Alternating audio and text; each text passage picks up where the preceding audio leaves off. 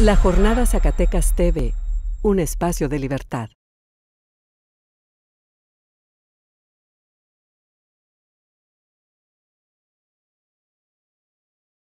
Poderles decir que a un mes, prácticamente un mes de arranque de lo que es esta campaña político-electoral para poder conquistar sobre todo la confianza y el voto de la ciudadanía del primer distrito, que se concentra aquí en la capital de Zacatecas.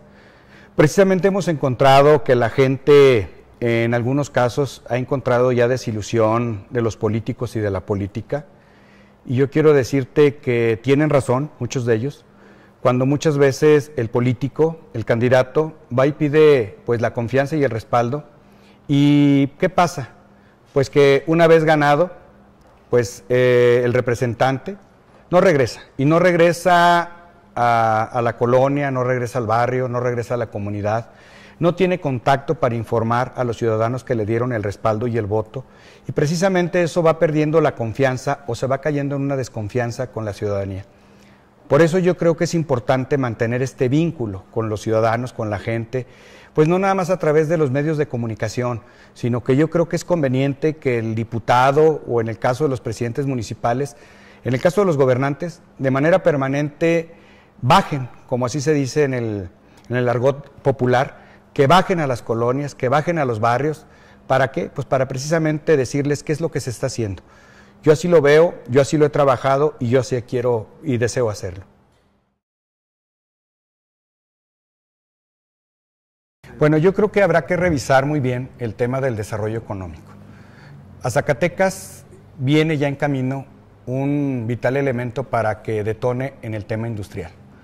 El gas natural, más o menos durante unos meses más, hablamos de casi dos años, estará llegando lo que es el gas natural a la zona industrial de Zacatecas. Esto será indudablemente un detonante para que empresas, para que industrias puedan voltear a Zacatecas para poderse instalar. Esto obviamente se tendrá que traducir también en oportunidades de empleo para gente, para la gente de Zacatecas, para la gente de lo que es la zona metropolitana o lo que es ya ahora una conurbación que tenemos con Calera, con Morelos, con Zacatecas, inclusive de Fresnillo. Pero también eh, esto es, un proyecto a mediano y largo plazo, hay que decirlo.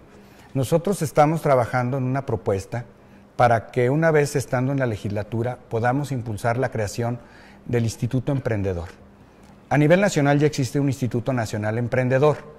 En Zacatecas debemos de contar con un organismo que aglutine precisamente a todas las cámaras empresariales, comerciales, en donde también aquellas este, instituciones de educación superior participen junto con estas cámaras, con estos sectores, porque hay mucha gente con talento, hay muchos jóvenes que están estudiando y precisamente tienen las ideas, tienen las propuestas y los proyectos, pero no saben a dónde ir. Por eso este instituto va a engranar precisamente a través de los diversos sectores para que sea una incubadora, una incubadora de proyectos. Pero también, ¿qué necesitamos a través de este instituto? Pues que este instituto, este, junto con el Instituto Nacional, busque cuáles han sido esas experiencias y que han sido factibles en otros estados o en otros países para precisamente desarrollarlas aquí en Zacatecas.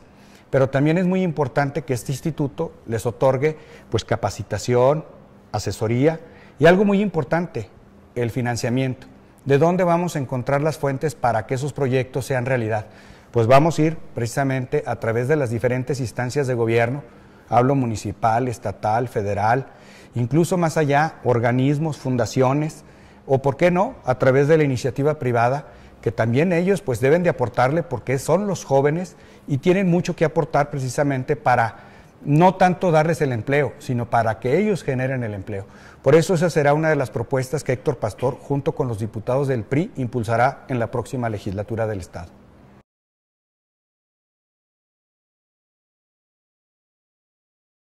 Bueno, a nivel federal ya se ha estado discutiendo, hay que recordar, una iniciativa que desde la Cámara de Senadores y bueno, claro, aunque no le compete, pero la Cámara de, eh, la Cámara de Diputados es quien debe de legislar en este sentido.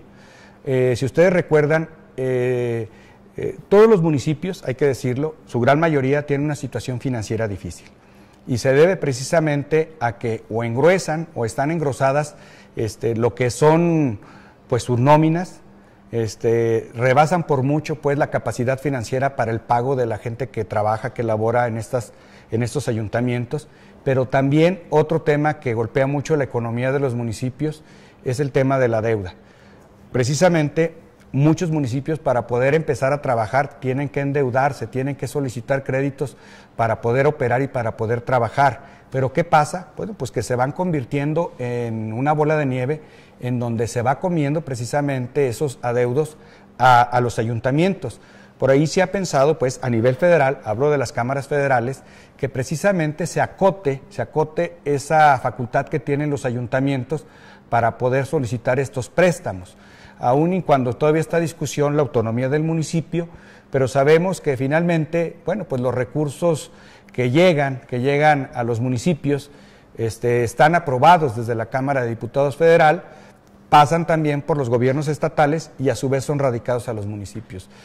El rescate a los ayuntamientos, a los municipios, es un tema que desde el nivel central, pero sobre todo también aquí nosotros desde el nivel local, tenemos que revisar decirte que lamentablemente este, muchos municipios, a veces ni para la nómina, para el pago de nóminas, eh, cuentan cada quincena. Por eso yo creo que sí tenemos que revisar y también yo creo que la responsabilidad aquí debe de recaer en quienes van a llegar a esos ayuntamientos, a estas presidencias municipales, porque también a ellos les heredan, hay que decirlo así, cada ayuntamiento va haciendo contrataciones y bueno, pues al final le dejan la carga al que sigue. Por eso es un tema que tenemos también que revisar desde lo local.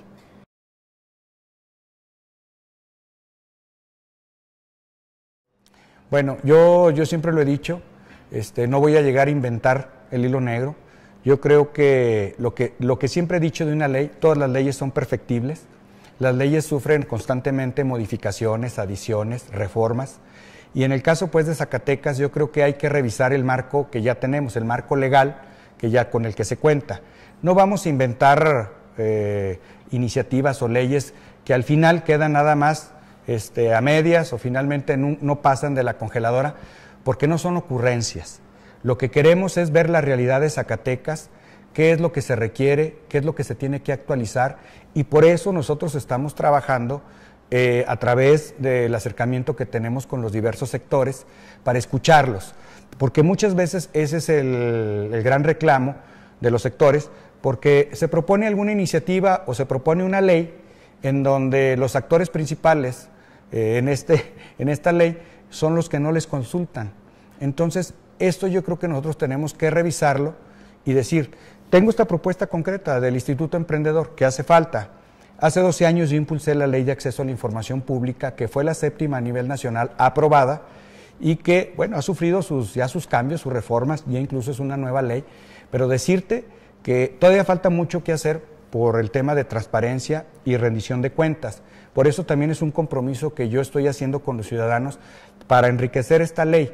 ¿Por qué? Porque todavía hay muchos recovecos en donde precisamente muchas veces la autoridad este, o niega la información o muchas veces se maquilla. Por eso creo que debemos de continuar con el tema de la transparencia y la rendición de cuentas.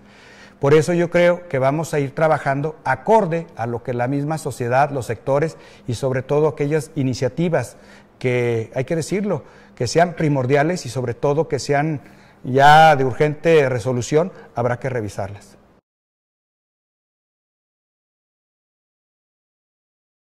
Bueno, yo siempre he sido de centro izquierda. Yo creo que incluso si ponemos a revisar, yo creo que cuando las tendencias son, como tú lo mencionabas, si es de derecha, de izquierda o de centro izquierda, yo quiero decir que, eh, podemos encontrar en esta diversidad cosas buenas. Yo creo que a veces la misma propuesta que pueden hacer los partidos de derecha, para algunos puede ser malas, para otros pueden ser buenas. Bueno, yo simplemente hoy lo veo con estas alianzas que se dan políticas en la coyuntura de una elección y hoy vemos como un PRD está aliado con un partido Acción Nacional. Cuando, si vemos sus ideologías y cuando vemos las propuestas que han hecho ante los ciudadanos, a veces chocan. Cuando hablamos de una ley de protección a la vida y cuando hablamos de una ley del aborto.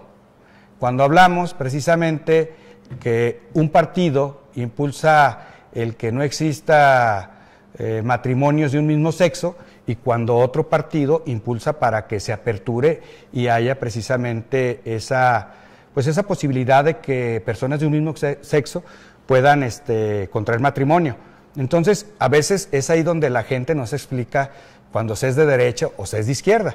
Por eso yo hablo que es mejor cuando las propuestas son muy concretas. Finalmente, los partidos, ¿qué es lo que tenemos que hacer? Escuchar a los ciudadanos y tener e impulsar iniciativas que vayan en beneficio de los ciudadanos.